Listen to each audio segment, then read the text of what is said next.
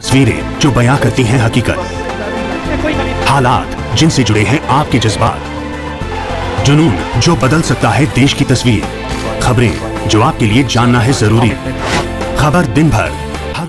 जय जी। जी। जय जी जमशेदपुर से खबर आ रही है। सभ्य बारात और होली को लेकर प्रशासन का फ्लैग मार्च किया गया है। जी प्रशासन के द्वारा। जी कौन उपस्थित है और फ्लैग मार्च कर रहे हैं प्रशासन? जी देखिए मनोज जी, आपको बता दें, जमशेदपुर के सभी थानों क्षेत्रों में आपका फ्लैग मार्च किया जा रहा है। ये जो फ्लैग मार्च है, शब बारात और होली पर्व को लेकर के हो रहा है। इस फ्लैग मार्च में सिटी एसपी साहब एडीएम लॉ ऑर्डर साहब, सभी थाना प्रभारी डीएसपी फ्लैग मार्च में शामिल है। जब हमने बातचीत किया है फ्लैग मार्च का, मकसद क्या है तो सिटी एसपी साहब का कहना है, शहर में फ्लैग मार्च इसलिए किया जा रहा है, लोग शांति बनाए रहे कोई भी ऐसा भेदभाव ना हो पर्व त्योहार सबका एक साथ मिलकर और जुल के मनाया जाए। इसीलिए अब ये फ्लैग मार्च किया जा रहा है। अगर कोई भी गलत अगर इसमें मैसेज करेगा, उसके ऊपर कली से कली कार्रवाई की जाएगी और एक चीज़ और उसमें बताई गई स्पीड ड्राइव उस पर भी विशेष ध्यान दिया जाएगा। ये कहना है दोनों का। जी एडीएम साहब का और सिटी साहब का। स्पीड ड्राइव को लेकर विशेष निगरानी रहेगी इस बार होली में। जी बिल्कुल जी। जी धन्यवाद जय जी। खबर के लिए बने रहे जमशेदपुर से सोना न्यूज़ के अभी होली का अवसर है और सभ्य बारात का अवसर है। दोनों त्यौहार बहुत पावन पर्व है और इस पावन पर्व त्योहारों के उपलक्ष्य के पर आम जनता के अंदर सुरक्षा का भाव देने के लिए और जो असामाजिक तत्व हैं उनको ये बताने के लिए कि अगर आपने किसी भी तरह की कोई बदमाशी की शांति व्यवस्था को भंग करने का प्रयास किया या लॉ अबाइडिंग सिटीजन्स के लिए कोई खतरा पैदा किया तो आपके ऊपर कड़ी कानूनी कार्रवाई की जाएगी।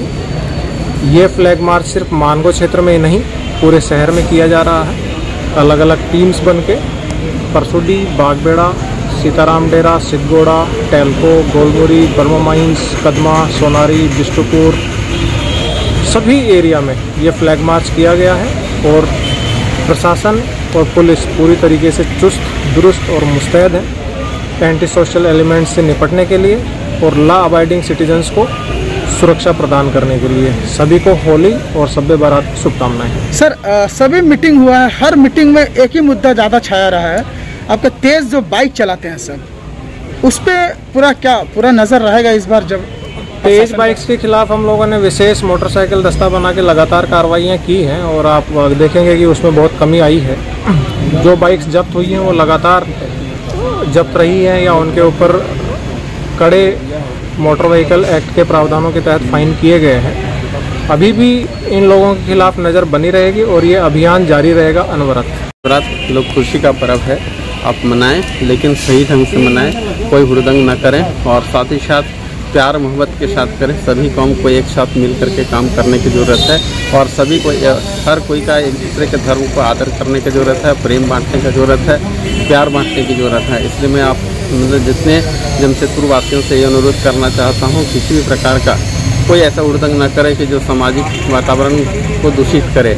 और समाज में मिलजुल के रहने का हमेशा प्रवृत्ति रहनी चाहिए और एक दूसरे समाज को आदर करनी चाहिए एक दूसरे के धर्म को आदर करनी चाहिए सबको एक दूसरे से रेस्पेक्ट करनी चाहिए। मैं यही कहना चाहता हूँ।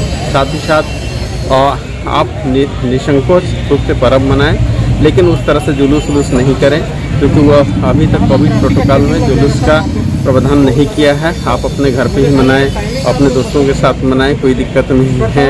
उसी तरह से रात कोई हुड़दंग न करें और बाइक जो भी चलाते हैं, वही तीव्र गति से न चलाएँ, अपने लिमिट से चलाएँ, दो से ज़्यादा लोग बाइक में सवार न हों, ये ध्यान रखें और हेलमेट के साथ चलें। क्योंकि शराब नशे में रहते हैं, प्राय गिर जाते हैं या दूसरे को, दूसरे पे एक्सीडेंट करता था ऐसी परिस्थिति में बिना हेलमेट लिए बाइक को न चलाएँ, अन्यथा फिर हम लोग कानूनी कार्रवाई करेंगे और इस तरह से दिक्कत होगी। इसलिए आज हम लोग सभी थानाओं पे जितने भी छत्तीस थाना है, सभी थाना एरिया में जो जहाँ जहाँ कस्बे हैं, जहाँ जहाँ एरिया है, सभी में फ्लैग मार्च किया गया और लोगों को एक संदेश दी गई है कि पुलिस प्रशासन पूरी तरह से चुस्त दुरुस्त है और कोई भी हुड़दंगवादी अगर करेंगे या या एंटी सोशल एलिमेंट रहेंगे, उसमें हम लोग कड़ी से कड़ी कार्रवाई करेंगे। ये